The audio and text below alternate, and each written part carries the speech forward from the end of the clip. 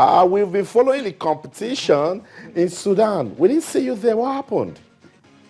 As usual, I think we have a problem with fund. You know, I was actually waiting for my association to get back to me on time, but unfortunately, what I heard from them is that Nigeria is not funding us to Sudan, so we have to again take out our money from our pocket.